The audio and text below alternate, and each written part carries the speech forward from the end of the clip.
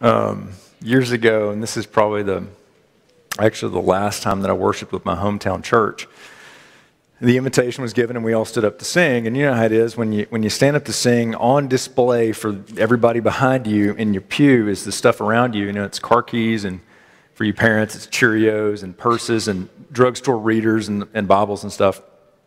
And uh, as many of you know, I come from a, a very, very small farming community uh, in North Texas, and um, the guy behind me that day is a commercial farmer. Okay, He's, he farms sweet potatoes, like a lot of sweet potatoes, and um, we stand up and we sing the song. And um, I had I had my Bible with me that day, and it was a new Bible, and it's actually this Bible right here, and um, it looks a little different. It's hardbound, and, it, and, at that time it was it was new enough to where it had a dust jacket on it. Okay, and the guy behind me, we finished the song, and he taps me on the shoulder, and he asked me one of the more memorable questions I've ever been asked in my life.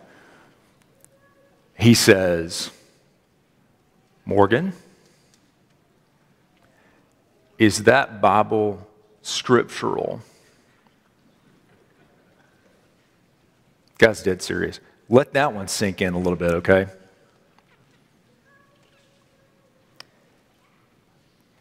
And I had no idea what that guy was talking about. And uh, he, he, I guess my confusion registers, and he, uh, he points at the, at the dust jacket and says, There, right there. It says that Bible's anointed. That Bible's anointed. And I look down at the dust jacket, and what it actually says is the Bible is annotated, which, if you have an annotated Bible, uh, an annotated Bible is one that has notes in it. Okay, it has commentary. You might call it a study Bible, okay? And, and I had a good laugh about this, okay? And I tried to explain, and, um, and he didn't laugh. And he did not seem satisfied with my explanation. Here was a man who was focused intently on doing the right thing for God, as this man saw it.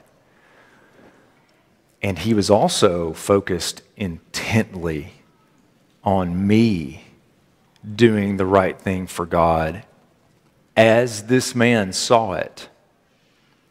And I think that little interaction is at the, it, it's, it's the essence of what Romans 14 is about these little frictions between brothers. Be turning there, Romans 14. So we typically think of that, that chapter as being about Christian unity, and it is that. Uh, Paul begins the chapter this way, verse 1. He says, Except the one whose faith is weak, without quarreling over disputable matters. And in concept, we're talking about unity, but he actually uses another word there he, uh, he instructs Christians in Rome to accept. You may have welcome, you may have receive, but the current running through that word is one of kindness. And it's as if you were welcoming, welcoming someone into your home, like into your actual home, to stay. And, and that word, accept, is kind of used as a, as a, a bookend, like this big old andiron, okay, between uh, the kind of the first part of Romans 14 and almost, almost the middle part of Romans 15. Now remember, the, the chapter divisions were not there in the original text, okay? And, and here's Romans 15 and 7, where he kind of completes this section, and he ends it this way Accept one another, then, just as Christ accepted you, in order to bring praise to God. And so he starts with acceptance, with welcoming, and he ends with acceptance, welcoming. And you'll recall that this passage is really memorable for uh, its labeling of two different kinds of groups uh, or, or, kinds of people. Uh, there are specific directions given uh, about and to people that Paul will describe as the weak. And the assumption is that, is that there also is a strong, and he actually gets around to naming them uh, specifically, but it takes him till 15.1 to do that. It takes him a little while. And it's critical, though, to understand what he means by those two labels. Uh, and, and those two terms maybe are not as straightforward as, as as we might think. Question for you What kind of Christian are you? Are you a strong Christian? Or are you weak? And listen, as, as Americans, I think as people, but as Americans, ooh, we like strong. We like strong leaders. We like strong athletes. We like strong superheroes. And I would think just about everybody in here probably identifies themselves, thinks of themselves, feels that they are strong. Or at least stronger than the average bear, right? Uh, and with this many people in here, that cannot be true, right? 100% of the people can't all be above average. You know, it just doesn't, it doesn't work.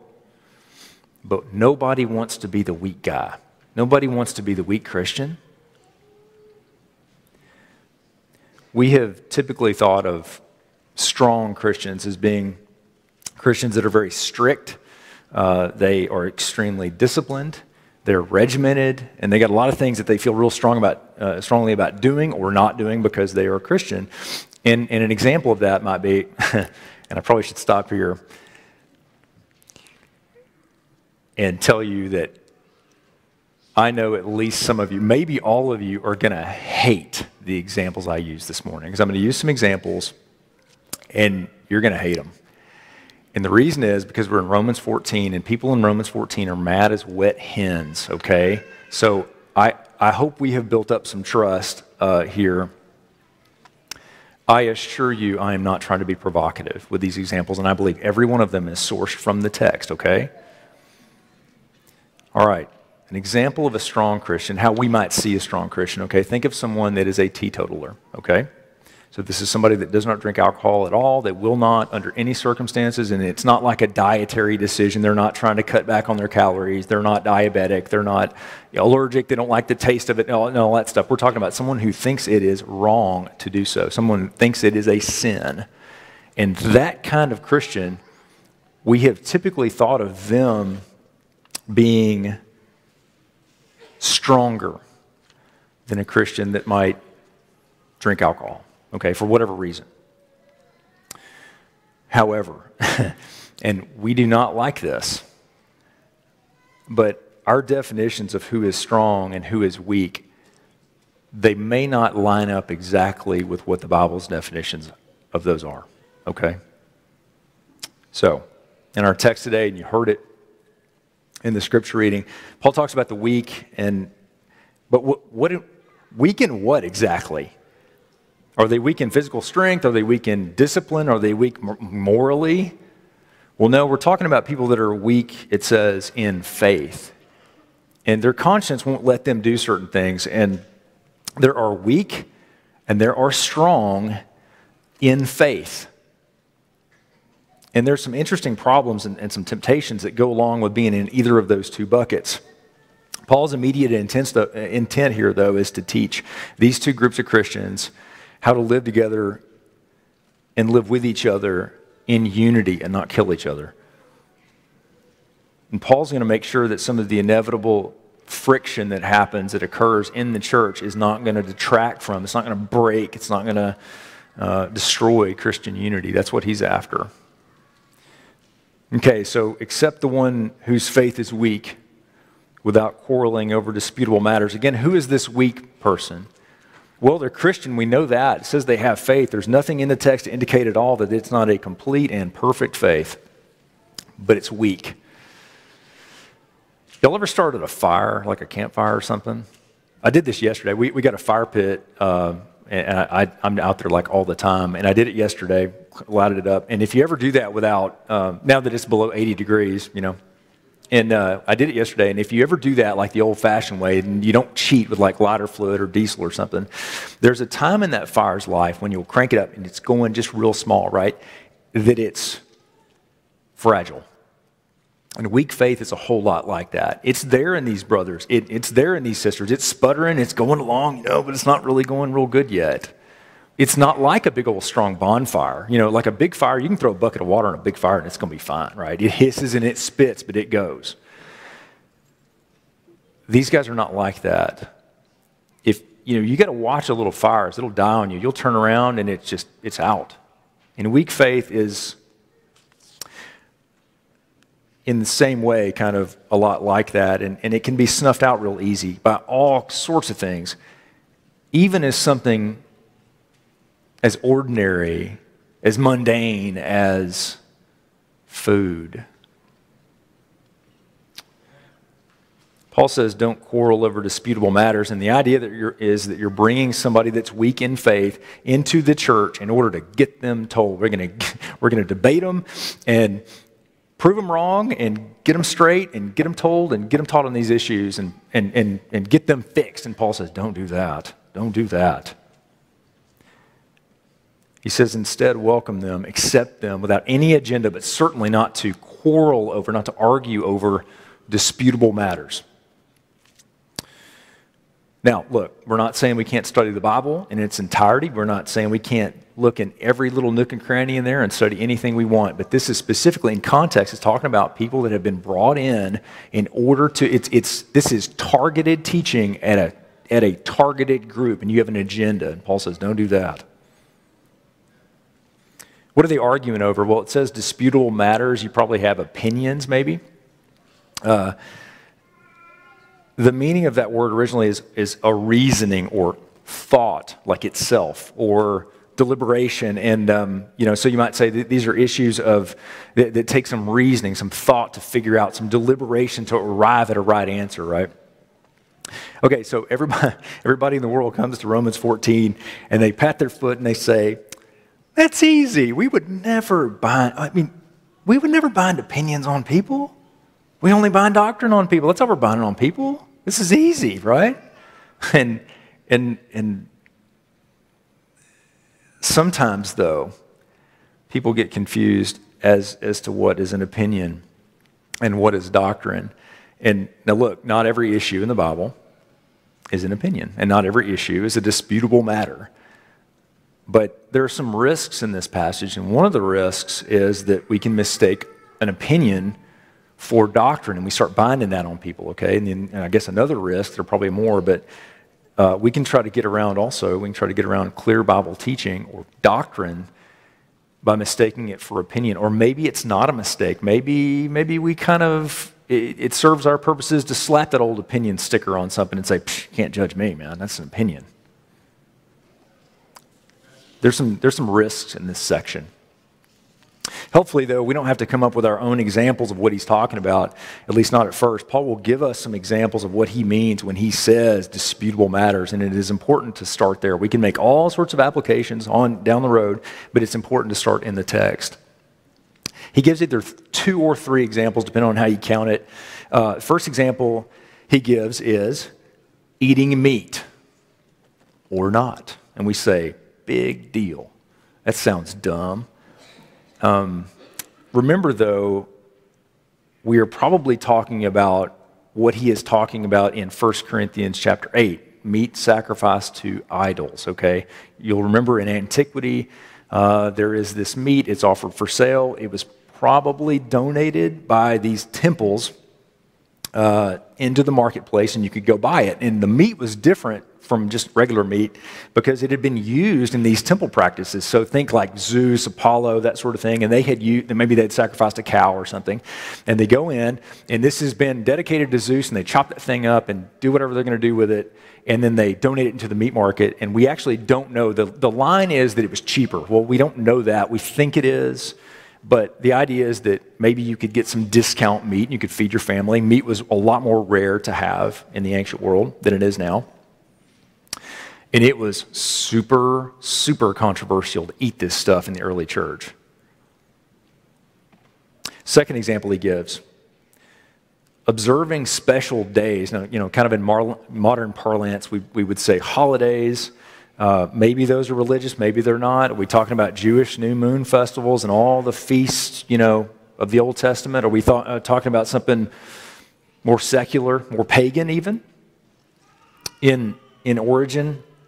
And then this third example, and he really mentions this only in passing, we won't get to it today. It's in verse 21. He mentions drinking wine.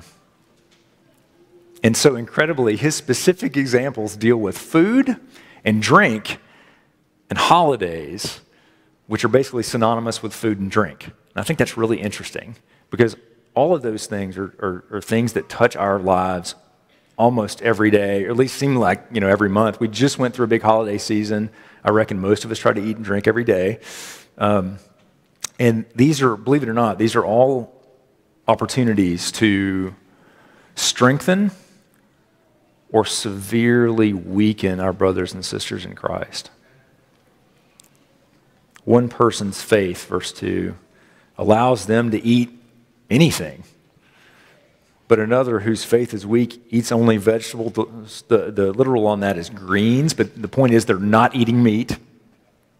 What's going on here? Well, the early church was a complicated place. You got people, you know, coming to Christ from, from all these disparate backgrounds. And, and in the places that Paul was evangelizing, you got people that, that were Jewish and they had converted and they, they brought some or all of their customs into the church with them. And and there were also, right beside them, there's these former dyed in the wool pagans. And you got Italians and, and North Africans and, and Greeks and Judeans and, and a whole lot more from every corner of the empire, all trying to worship each other. And, and all of these different cultures had different traditions, and we, you know, we do too. Uh, and all of them usually had an acceptable diet that they brought with them. And that's an age old thing, too. And if you start looking for it in the Bible, you start seeing it a lot of places. I thought immediately of, um, you guys remember, uh, was it Genesis 43, where Joseph is this big shot in Egypt, right? And he, uh, it says there that the Egyptians could not eat with the Hebrews, for that is an abomination to the Egyptians. And so Joseph's brothers don't eat Egyptian kosher. And Joseph does. You know, remember when they serve food? Remember what happens? It's kind of strange. They serve them on different tables. They can't even eat at the same table. Joseph's brothers are over there, Joseph's here, and apparently the Egyptians with Joseph are on another table. It's kind of a weird feast. So, you know, back to Paul's time, these pagan Greeks had sacrificed something to, I don't know, Aphrodite or something. And you're Christian. Can you eat that stuff? And people fought hammer and tong over that. Now, lest we think this is a problem only for, for Bible times, uh, I read recently uh, in majority Muslim countries today, there is this just about all the all the meat if not every bit of meat in that country whether you buy at the store like at a butcher or something or if it's served to you privately uh, like at a private home is what's called halal okay so halal is to Islam what kosher is to Judaism, okay? So we're talking about ceremonially clean meat, like acceptable meat to eat religiously, okay? And to be halal, uh, meat has to be sacrificed by a Muslim after invoking Allah's name in a short, specific Islamic prayer. And, and the funny thing is, during this whole thing, as you slaughter it, you got to orient that animal, you got to point him toward Mecca. I think it's It'd be that way. So, you're a Christian. Can you eat halal meat? And if you can, can you at least see how some Christians might not be able to? So, back to the early church here. you take all these people from all these crazy backgrounds and you throw them in a blender and you hit the button. And there were problems. There were a lot of problems. We know the early church ate together a whole bunch. And so what happens when, you know, the devout Jew that is converted, he, you know, he posts up in the potluck line and, and he's, he's scooping this brown stuff out on his plate and he slops a little bit of it on its hand, in his hand and, and it, it smells pretty good. And so he licks it off and, and uh, it tastes better than it smells and the guy behind him pokes him in the, in the ribs and says, Man, you're going to love that. That's our favorite recipe around our house. My wife kills with that recipe. We, kill, we, we just eat everything, and, and that's the best pork stew you're going to ever have. And the Jewish guy goes white because he's 45 years old and he has never touched a pig. He has never smelled pork cooking. He's never smelled bacon. And to me and you, that's a shame, but you can understand, right? And he cannot believe what he has just done. And he sprints out of that place and he goes and gets sick in the bushes outside. And when he comes back in, he's mad. A few people back in the line from him, kind of towards the end of it, is a, a little lady, and she is she is just converted. She's brand new Christian, and um, she is a former uh, worshiper of Dionysus, so Greek god of a bunch of stuff, theater, uh, wine, winemaking, vineyards, stuff like that, a lot more. And she looks up at the, at the table they're, they're serving everything off of, and there's a, there's, a, there's a big jug of wine on it that somebody has brought and, uh, and donated and, um, for everybody to share. And she starts getting real uncomfortable.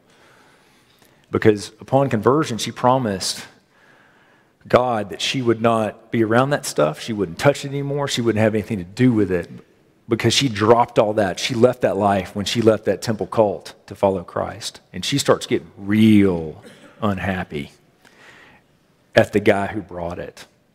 He's a Jewish vineyard owner. And she starts telling everybody around her that she's real uncomfortable about it and she's not real appreciative.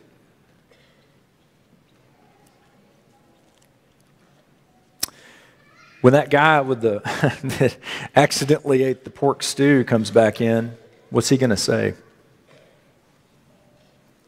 I mean, your guess is as good as mine, but I think he's going to say something along the lines of, what he's going to give that Greek guy a piece of his mind, and he's going to say, Hey, man, you never do that to me again. You cause me to sin because you're sinning.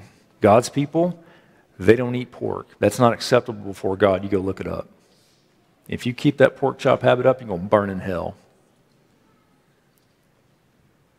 And Paul has some teaching for that one, for that Christian. When the, when the vineyard owner the Jewish vineyard owner hears that somebody in the back is really unhappy with him about his wine that he brought out of generosity. And it was really good stuff, it's expensive. And what's he, what's he going to say about that? And I reckon he's going to say something to the tune of Look, that dumb pagan, she didn't even know two weeks ago that a marble statue wasn't a real God, like a rock. And she's going to tell me how to live? Are you kidding? God gave me that vineyard and He gave me that wine, and I'm going to share it to glorify Him. And I don't give two rips what that little lady thinks. What is she to me? She's been here 45 minutes and she wants to tell me how to live. Come on. And Paul has some teaching for him too.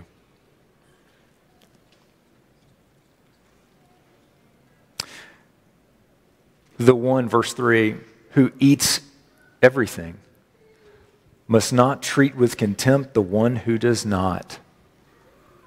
And the one who does not eat everything must not judge the one who does, for God has accepted them. The initial teaching is this to the weak. Now, this is the one that their conscience won't allow them to do certain things. And these guys have a lot of what we used to call scruples. You guys remember that term? So, Paul says to them, to the people weak in faith, don't you judge, don't you pass judgment on, don't you condemn the one that can eat and drink what you can't. Don't you judge your brother and sister. Don't do it. And if you think about it, that is exactly the temptation for somebody that, you know, say, just for example, and again, here's another example you're going to hate. Um, somebody that, that can't celebrate Christmas. I would think that that person would be tempted to judge the Christian that is just all in. You know, they got, I mean, they went just absolute crazy. And they got the lights on the house, and you tune into the radio station, and, and you know, it annoys the neighbors. And, and they got the, the elf on the shelf nonsense, and they got the 12 foot tree and the stockings, the whole, I mean, they just go absolutely bananas. To the, to the strong,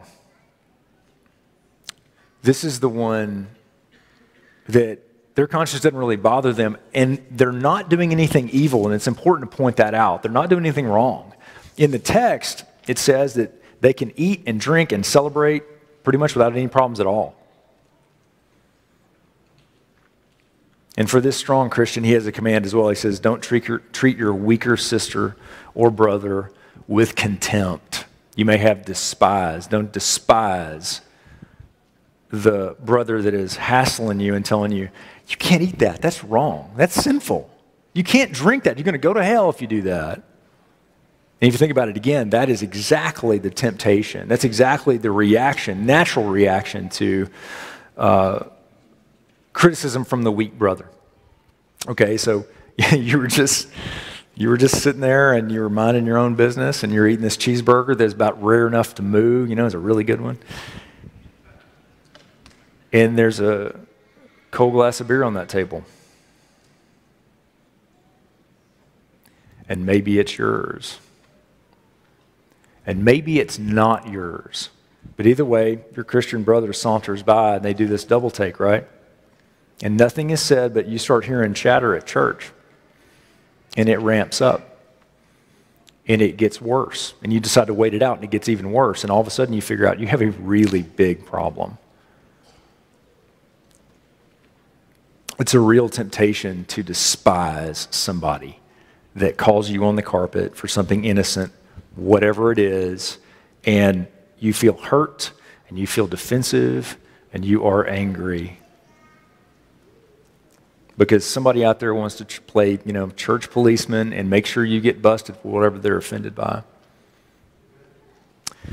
And it is so easy to treat a brother or sister with contempt, to despise them for that. You strong? You a strong Christian? Congratulations. Being strong stinks sometimes. How is this sort of thing even possible in the church? How does it get started? And, you know, then and now over in places like Rome, Italy, 2,000 years ago, or, you know, thereabouts, around about Athens, Texas these days. Um, well, I reckon in both of those, again, very natural reactions. Judging and treating with contempt, when those happen, it is because people have forgotten, Christians have forgotten two things. Number one, we've forgotten that God has accepted, He has warmly welcomed our brothers and sisters in Christ. And number two, it's because we forgot that we're not the judge, we're not the boss. God has accepted these people, and, and we want to shove these people the door. We want to kick these guys out of God's house like we're God's bouncers. Really? Or the people that Christ literally died to purchase we want to treat them like dirt, like they have no value. Are we serious? Do we really want to do that? Verse 4 Who are you, Paul asks, to judge someone else's servant? Now, that's a sobering question, isn't it? Paul says, Y'all got a problem. He says, If we do these things, we've forgotten our place. He says, that brother down the street, that, that sister down the street, they are your brother, they are your sister, indeed, but they are not your servant. And you're not their master, you're not their boss. They do have a boss. Who is their boss? God is. God is. He continues, to their own master, servants stand or fall, and they will stand you may have be upheld. Now, how is that possible, Paul? How will they be upheld? How will they stand? For the Lord is able to make them stand. The Lord will determine who is in and who is not, and that is fine because that's his prerogative. That's for him to do. And hidden right in there, I think right we really need it to kind of calm everybody down, is this really beautiful, really reassuring phrase. He says the Lord is able to make them stand. And as everybody's jockeying for, for position here in these arguments and they're deciding who's saved and who's not, and who's in and who's out, the Bible points out that as servants, we have a direct one on one relationship with our master. And our master gives us assurance he can save us, and he will. He can make us righteous. And he's the only one who can. And he will. So, if your faith is, I mean, is it, if it's strong as a bull and you can eat some really weird stuff or some really crazy kind of questionable sources, good for you. He can make you stand. He can uphold you, and He will. And, and if your faith is, is about as big as a little match burning, about that big, and it's not going real good yet, you know, and you got a lot of scruples about what you can and can't do, and you're trying to figure all this out, and you're really freaked out by everything, God can make you stand. He can uphold you as well. And that's, man, that's encouraging. I don't know if that's encouraging to y'all. That's incredibly encouraging and uplifting teaching. One person, verse 5, considers one day more sacred than another, and another considers every day alike.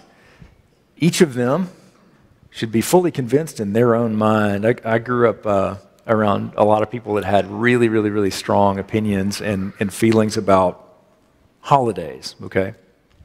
My, uh, some of my mom's people, and I talked to her about this yesterday, but some of my mom's people did not, they wouldn't celebrate birthdays. I mean, no cake, no candles, no gifts, no nothing. No Christmas, no Easter, certainly not a Halloween. I mean, nothing.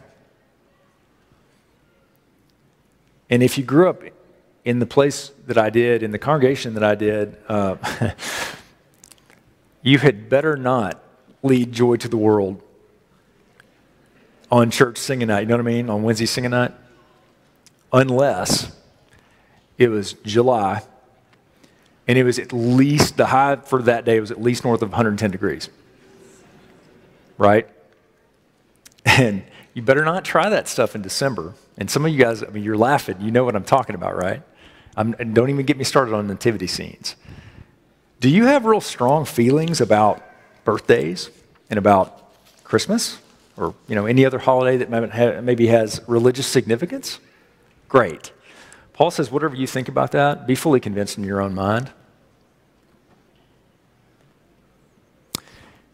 Don't do something just because somebody else does it. That's sage advice, right? But no, don't not do something or celebrate something just because somebody else passes on it. Whatever you got as your belief, be fully convinced in your own mind it says literally be satisfied, fully satisfied, fully believe in your own mind. It doesn't say to celebrate. And it doesn't say not to celebrate. Isn't that interesting? He didn't tell you which way to go.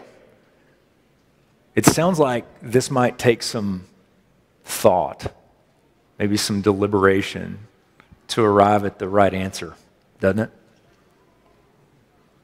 The special and the mundane both those days are both God's. Here he starts taking this whole thing and he takes this big, you know, teaching that he's got and he starts turning it kind of in, in a really neat direction. And these people that have been fighting and they've been arguing, they've been divided, and he's going to he's gonna give them some common ground to stand on. And he's going to give them, he's, he's going to kind of glue them right back together where they're splitting, they're starting to fracture. I love this. Listen to verse 6. He says, Whoever regards one day as special does so to the Lord. Whoever eats meat does so to the Lord, for they give thanks to God. And whoever abstains, so you're not doing any of that, does so to the Lord and gives thanks to God. And all these different things that Christians are choosing to do or not to do, they, they all have something in common, or at least they should. He says, whatever the Christian does, it is done as to God, to the Lord. And also, it's done with thankfulness to Him, whatever you're doing or not doing. Everybody's focused on these microscopic issues of food and drink and special days, and Paul kind of has to grab them you know, by the neck and pull them away from that, and kind of kind of pull them and widen out that lens and that broaden that that perspective and that scope of what he's teaching to where they can see everything. Right? For none of us, verse seven, lives for ourselves alone, and none of us dies for ourselves alone. Whether we're, you know, whatever we're doing or not doing in our lives, if we are in the body of Christ, we are interconnected. And ooh, as Americans, we do not like that teaching because we're not any good at it. How do we live? It's not with the way we live. How do we live? We say, get over there and mind your own, and I'm going to stay over here and mind my own, we're going to be fine, right? That's how we live. So we, I, Paul kind of kind of brings it back. He's already mentioned this actually in the book earlier, back in verse in uh, chapter 12 of Romans. This is verse 5. He says, "So we who are many are one body in Christ, and individually we are members one of another." and he continues that idea in 1 Corinthians chapter 12, and, and he, this is picking up in verse 14, where he will say, Indeed, the body does not consist of one member, but of many. If the foot were, would say, Because I'm not a hand, I don't belong to the body, that would not make it any less a part of the body, he says. So, look, you can pretend you're not a, bo- a part of the body, it doesn't make it so. We are a part of one body, and what we do affects the body of Christ. Are you eating and drinking and celebrating to the Lord? Or not with thankfulness, uh, with thankfulness, with thanksgiving? Good, you're doing what you're supposed to do. But Paul turns up the volume on us here. He's going to raise the table stakes and, and, and on us a lot higher in verse 8. And he says, If we live, we live for the Lord. And if we die, we die for the Lord. So whether we live or die, we belong to the Lord. The Roman church and others are getting entangled in these, these fights about where your ribeye steak came from and if you could even eat ribeye steak in the first place. And Paul says, whatever side of that you fall on, every single thing you're doing in your life should be to the Lord, done as if you were doing it in His presence, right in front of Him. Because oddly enough, in truth, that is exactly the way we're living. We're doing everything in the world right in front of God's presence, right in front of Him. He can see everything we're doing. We just forget sometimes, don't we? We forget. For this very reason, verse 9, Christ died and returned to life so that he might be the Lord of both the dead and the living. Now, how can he be our Lord in both life and death? Well, because he mastered, because he conquered both life and death, right? Which is, I mean, I love that. It's a beautiful expression of his, his, his power, Christ's power, and, and, and his love and of his extreme reach. Remember, it made me think of, um, of David David's kind of thinking about this same thing a thousand years before Christ is ever born. Remember him in uh, the 139th Psalm? Remember he asked God, he's, he's, he says, Where can I go from your spirit? Like if I wanted to get away, where would I go? Where can I flee from your presence? And he says, I'd go up to heaven, you're there. And if I somehow could put a sleeping bag on the bottom of the ocean and roll it out and lay down there, I can't get away from you there either, you're there.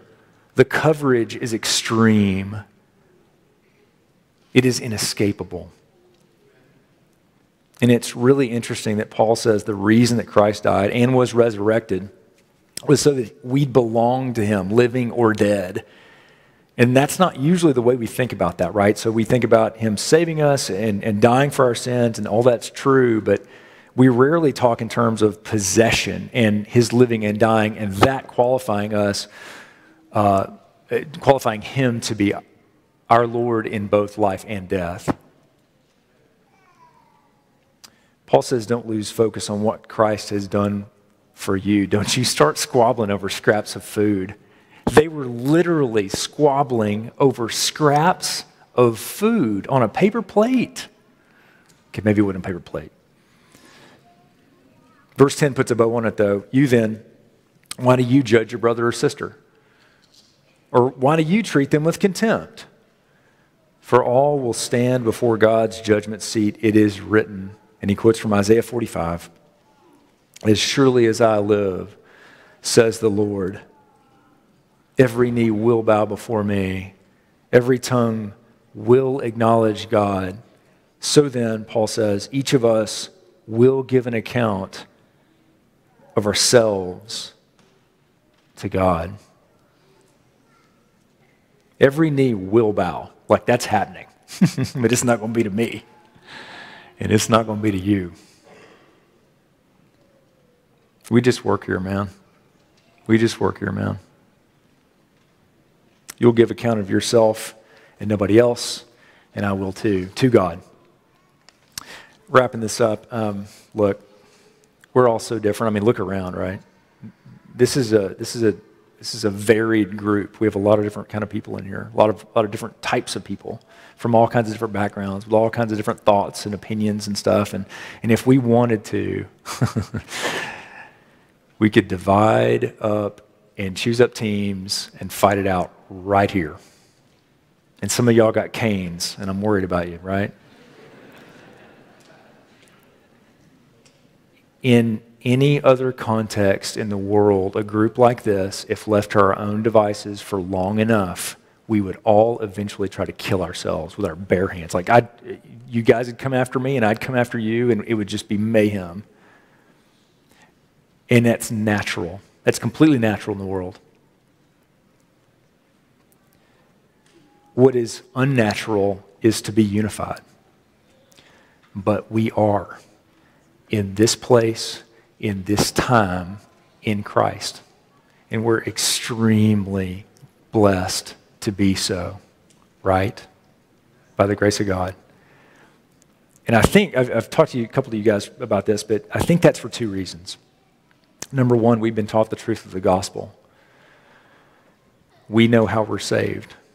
If you've sat through Ken's Romans class, you know the truth of the gospel. You know how you're saved. By the way, a plug for that. If you haven't, for some reason, sat through that class, I'm going to go past just recommending and saying you should. I beg you. I beg you. Go through that class or one like it. It will change your life. It changed my life in 2012. We know the truth of the gospel and how we're saved. And number two, we are focused and have been singularly focused on glorifying the great God who did all the saving in the first place in this place, okay? But the day that that knowledge of how we're saved f- fades, and the day that that focus on glorifying God fizzles out, on that day, so will our unity. God forbid to be continued. Let's stand and sing.